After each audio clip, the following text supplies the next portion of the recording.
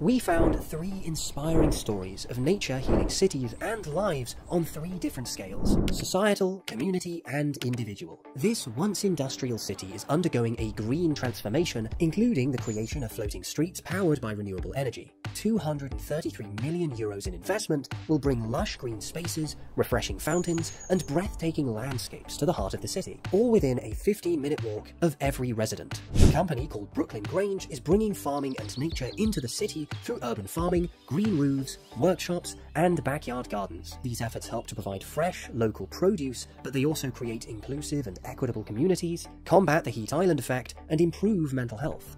Finally, we have an individual scale project by a wildlife photographer named Stefano who transformed a field of grass into a lush, green oasis that provides a sanctuary for life. He tuned into the ecosystem and learned the rhythm and flow of life. If you enjoyed this video, don't forget to like and subscribe, and we'll see you in the next one.